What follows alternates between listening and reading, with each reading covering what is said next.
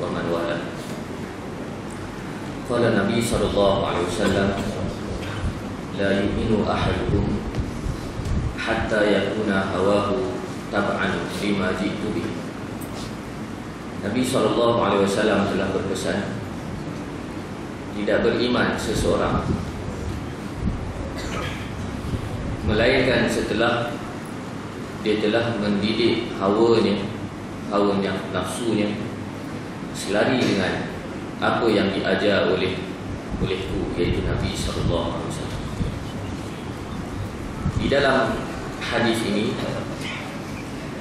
Nabi meletakkan syarat ataupun ciri golongan-golongan yang beriman. Berjaya menunjukkan hawa nafsu. Kerana soal seorang manusia itu melakukan dosa bahkan melakukan syirik.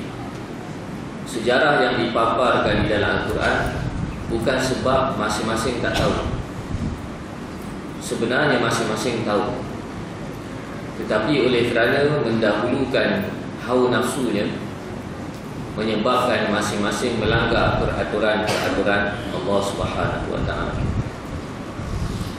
Kita lihat kisah iblis laknatullahi alaih melanggar arahan Allah dan menyebabkan iblis menjadi kufur. Bukan kerana iblis itu tidak tahu Allah itu adalah Tuhan.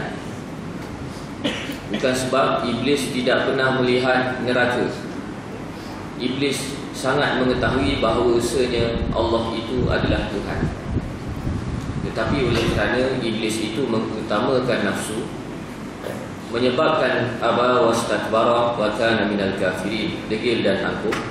Maka jadilah mereka golongan-golongan yang kufur. Begitu juga di kalangan ahli kitab Bani Israel. Mereka bukan tak tahu bahawa bahawasanya Islam itu adalah ajaran yang benar dan Nabi merupakan Nabi yang betul. Allah nyatakan alladzina atainahumul kitab abna'ahum wa inna fariqan minhum la yaktumuna al-haqqa wa hum ya'lamun. Allah menceritakan berkenaan ahli kitab Bani Israel mereka tahu ajaran Islam yang mereka lawan itu adalah ajaran yang benar. Tapi oleh kerana masing-masing mengutamakan nafsu keegoan menyebabkan mereka gagal beriman. Allah berfirman, golongan yang telah dikurniakan kitab iaitu ahli kitab Bani Israel. Mereka mengenali Nabi SAW seperti mereka mengenali anak-anak mereka sendiri. Kenapa?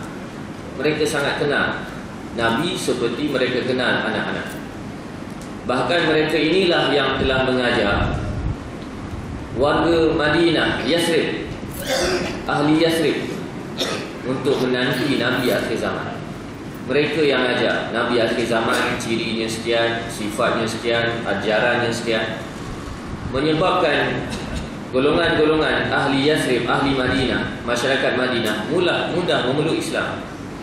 Tetapi malangnya ahli kitab Bani Israel mereka tahu Islam itu mereka yang ajar berkenaan Islam tetapi mereka tidak memeluk Islam.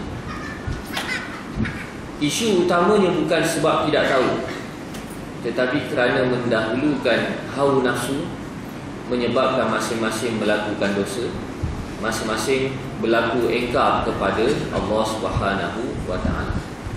Sebab itulah ha, isu ataupun masalah manusia pada hari ini bukan kerana tidak ada ilmu sangat tetapi mendahulukan kehendak hawa nafsu akhir sekali mengulangi pendurhakaan yang telah dipaparkan seperti iblis seperti Bani Israel seperti golongan-golongan yang dirakamkan di dalam Al-Quran melawan Islam dalam keadaan masing-masing sudah tahu Islam merupakan ajaran yang benar.